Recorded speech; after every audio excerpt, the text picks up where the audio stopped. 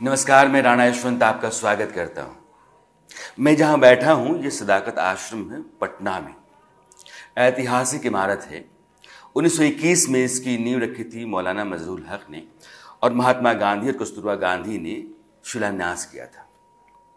यहाँ राजेंद्र बाबू ने आखिरी सांस ली थी, लंबे समय तक यहाँ रहे।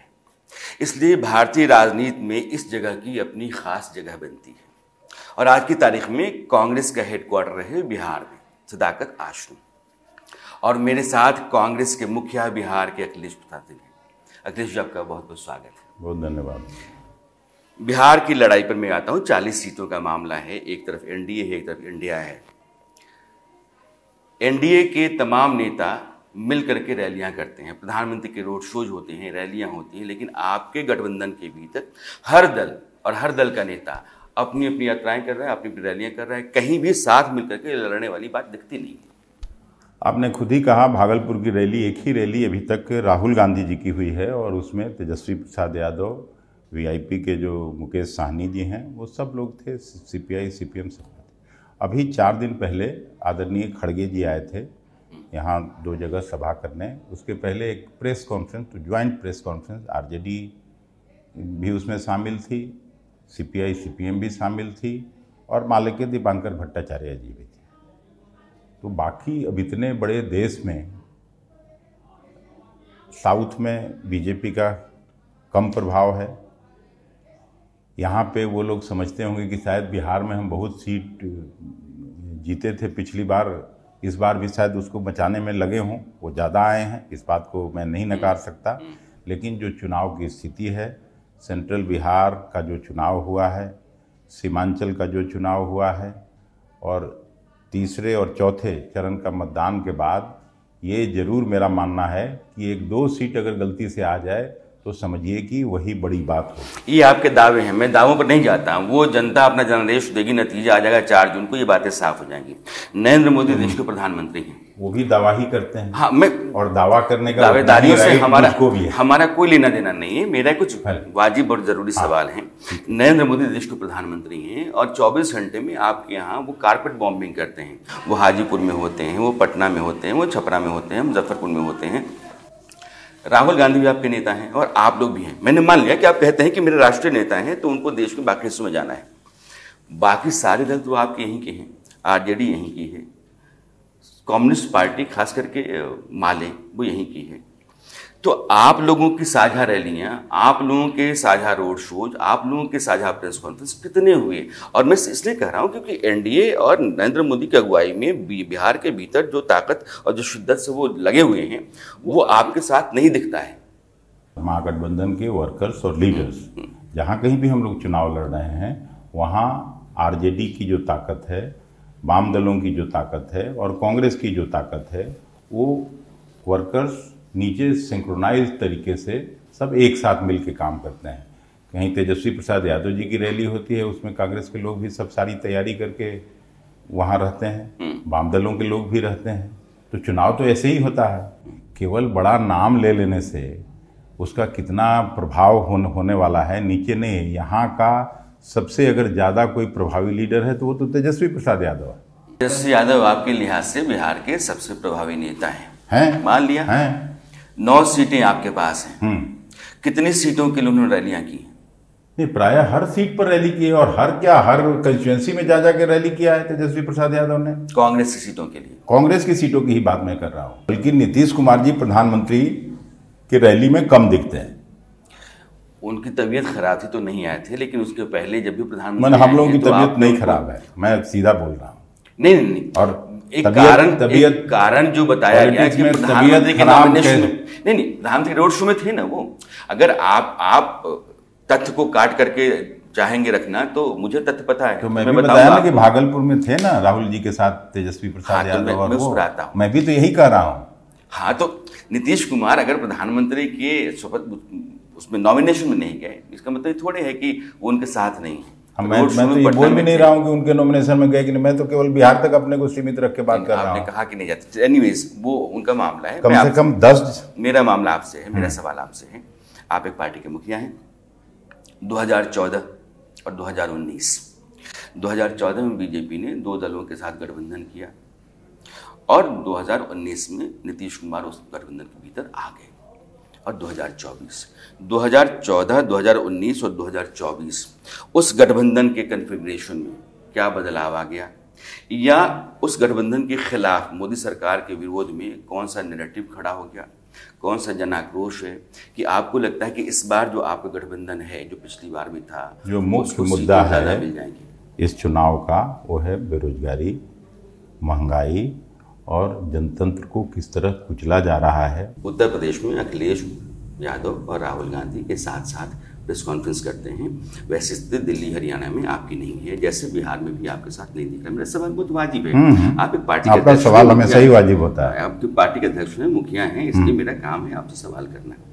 अरविंद केजरीवाल को लेकर के आपने जो बात कही है मैं जानना चाहता हूँ कि आपकी राय अरविंद केजरीवाल जब कांग्रेस के खिलाफ खड़ा हुए थे उस समय कांग्रेस के लोगों की राय थी या आज जो कांग्रेस के लोगों की राय अरविंद केजरीवाल के साथ मिलकर के लड़ने के बाद है किधर आप हैं? इस तरफ़ या इस तरफ़? हम इंडिया गठबंधन के साथ हैं जिसमें अरविंद केजरीवाल भी हैं। मेरा अगला सवाल आपसे।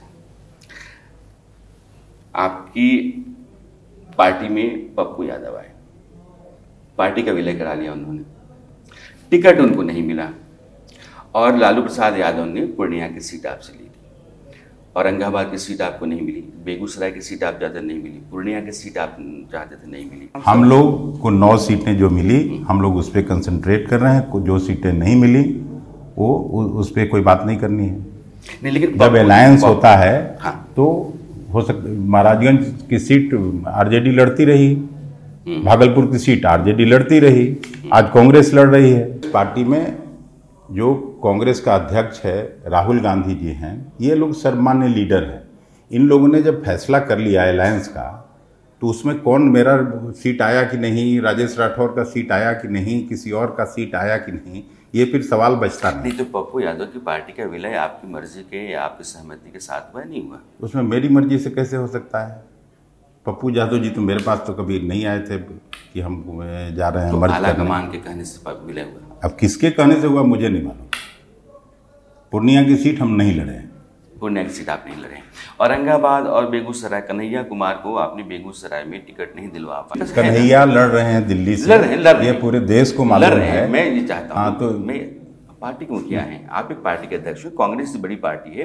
देश में प्रतिपक्ष का आपसे सबसे बड़ा आप, आपको जितना मालूम है उतना ही मालूम है कांग्रेस के बारे में सबसे कम बड़ा से कम। सबसे बड़ा दल अखिलेश जी। आप आप तम तुम्हाएँगे तो जवाब नहीं तम तमाएँगे नहीं हमको समय का कमी है। मैं हाँ, पहले जानता हूँ लेकिन नेता थोड़ा संयम के साथ बात करता है। मैं सिर्फ़ ये जानना चाहता हूँ कि कांग्रेस को जिस पार्टी के ठीक है एक सीट आपके पास आई आरजेडी के पास नहीं थी पिछली बार आपके पास आई।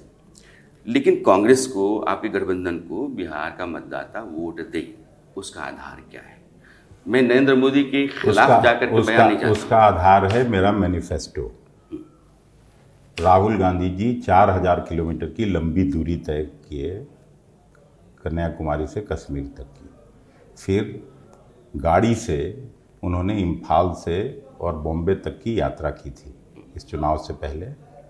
और करोड़ों नौजवानों से मिले, लाखों महिलाओं से मिले, लाखों किसानों से मिले, लाखों मजदूरों से मिले, उसके बाद हमारा मैनिफेस्टो बना है। और मेरा मैनिफेस्टो हवा हवाई नहीं है। इस देश में, जो मैं पहले आपको कहा कि किसानों की आमदनी दुगना करने की बात करते थे प्रधानमंत्री जी 2022 में, आमदनी दुगनी नहीं हुई, लागत खर्च ज़रूर तिगुना चौगुना हो हम लोग इसी देश में बहत्तर हज़ार करोड़ रुपए का लोन स्मॉल और मार्जिनल फार्मर्स का माफ़ किया था। इस 10 साल में क्या हुआ? 22 अरबपतियों को, अरबपति परिवार का 16 लाख करोड़ माफ़ हो गया। लेकिन किसानों का ऋण माफ़ नहीं होता है। किसानों के लिए आमदनी दुगुन करने की बात ज़रूर होती है, लेकिन उसमें उसके लिए कोई पॉलिसी नहीं बनती है। तो असली सवाल तो ये है, और मैनिफेस्टो में हम लोगों ने ये किया कि हर गरीब परिवार के एक महिला को हम लोग एक लाख रुपया देंगे साल में। हर युवा को जो बेरोजगार है, उसको अप्रेंटिसशिप के तरफ़, तौर पर एक लाख रुपया देंगे।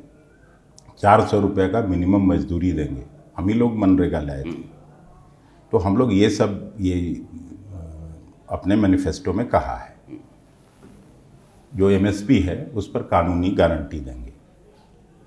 आपका विरोधी जो कहता है, मैं आपके विरोधियों की बात आपके सामने रखता हूँ। स्वामीनाथन कमीशन 2005 में आया। आपकी सरकार 2014 तक रही। स्वामीनाथन कमीशन की रिपोर्ट आपकी सरकार ने लागू क्यों नहीं किया? किसानों के हितैषी बनते हैं तो। दूसरा 2006 से लेकर 2012 के बीच में देश में किसान हर साल दस हज़ार के आसपास आत्म खुदकुशी करता रहा। ये आंकड़ा एक बड़ा आंकड़ा है। बोल जाइए मैं उस विभाग में काम किया हूँ श्रीमान हाँ तो मैं चाहता हूँ जानना कि स्वामीनाथन कमीशन की रिपोर्ट और किसानों की खुशी को लेकर के स्वामीनाथन जो जी सवाल जब मैं मैं कृषि मंत्री था मेरे साथ राज्यसभा में काम किए हैं। और उन, उनकी जब रिपोर्ट आई है उसके बाद सरकार के लिए तीन साल बचा था। ठीक है? और 2006 के नवंबर रिपोर्ट आई। नहीं नहीं वो जो फिर उस पर साहब का एक कमेटी बना था उसमें एक ये था उस समय दस परसेंट पर किसानों को ऋण मिलता था। हुडा साहब की कमेटी बनी।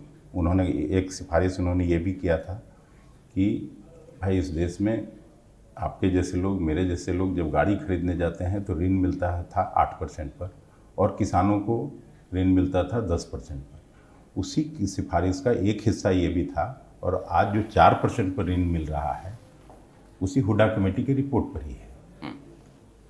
एमएसपी पहली पंचवर्षीय योजना से अगर हम ही पंचवर्षीय योजना तक चले आइए, मैंने ही घोषणा किया था दस रुपये बीस रुपया कभी पचास रुपया हर बजट में बढ़ता था।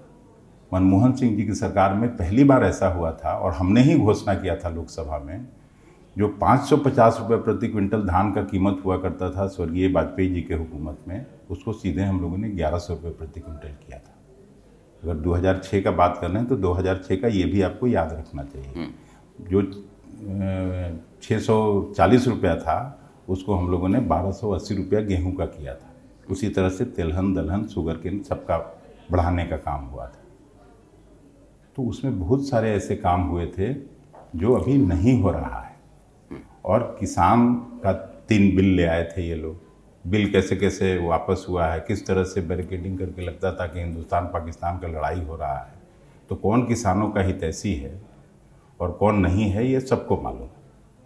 एक सवाल जो आपके विरोधी हैं वो आपके लिए कर रहे हैं या पर आरोप लगा रहे हैं कि आपके नौ उम्मीदवार हैं बिहार के भीतर लेकिन आप ज़्यादातर समय अपने बेटे के लिए लगा रहे हैं महाराजगंज ये कब हुआ है घोषणा? मैं तो एक आरोप ये तो छठे ये एक तो छठे चरण का है। हाँ। नहीं आपकी जानकारी के लिए मैं बता दूँ कोई मेरा ऐसा उम्मीदवार नहीं है जहाँ मैं खुद नॉमिनेशन कराने नहीं गया हूँ जहाँ मैं सभा नहीं किया हूँ। तो ये सब निराधार आरोप और बनावटी आरोप लोग लगाते रहेंगे। मेरा बेटा भी कांग्रेस का उम्मीदवार है तो उसके लिए भी काम करना ही पड़ेगा। लेकिन मैं मुजफ्फरपुर में सभा किया हूँ, मैं समस्तीपुर में जाके सभा किया हूँ, उसको उस लड़की को तो मैं ही यहाँ से ले गया था, चौपर में अंतिम में हुआ था घोषणा। उसके कई कई बार मैं गया, कटिहार, किशनगंज, भागलपुर, कल कल ही या परसों परसों सासाराम में कराया हूँ। कल पटना में कराया हूँ।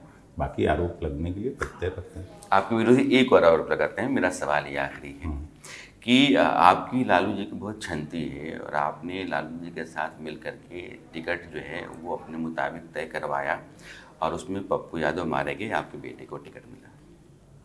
मेरा बेटा तो पिछली बार भी लड़ा था आपको शायद मालूम नहीं है मालूम कई चीज़ें। मुझे मालूम है। हम्म, तो उस समय भी मेरा बेटा ही था। ये आरोप है ऊपर और वो कांग्रेस में काम करता है। आरोप है पप्पू जी कांग्रेस में नहीं काम किया है। हाँ। पप्पू जी की पत्नी ज़रूर कांग्रेस में लंबे समय तक काम की वो पिछली बार लड़ी थी राज्यसभा में मेरी सहयोगी हैं।